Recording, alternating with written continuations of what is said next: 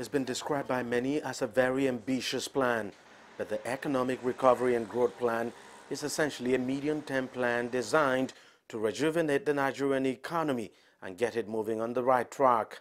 The scope of the plan ranges from 2017 to 2020, but if well implemented, it could become the template for future economic plans.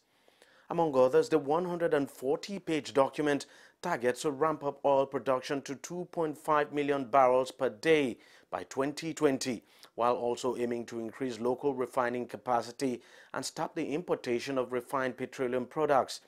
It also targets a GDP growth rate of 7% by 2020 and a market-driven exchange rate regime by aligning both monetary and fiscal policies. VAT on luxury items will go up from 5% to 15% beginning from next year. We want to do two broad things.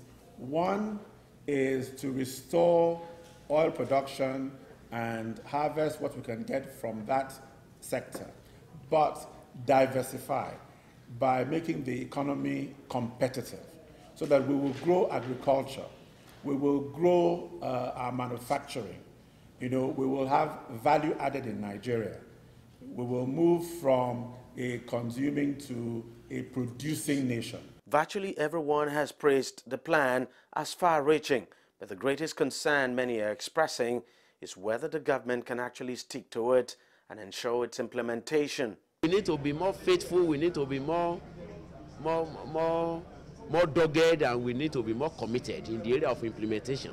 So if the document as it is can be implemented like somebody said a few days ago, that we can implement even 50% of what is proposed in that recovery plan, Nigeria will be on top of the world. To show how serious it is with implementation, the plan provides for a delivery unit which will be set up with the sole task of supervising the implementation and government ministers will be given clear objectives. International and continental lenders like the World Bank and the Africa Development Bank have always maintained that they need this plan as a precondition in considering Nigeria's loan request. The AFDB, for instance, has been holding on to the second tranche of loan meant for Nigeria, demanding the plan before the full disbursement.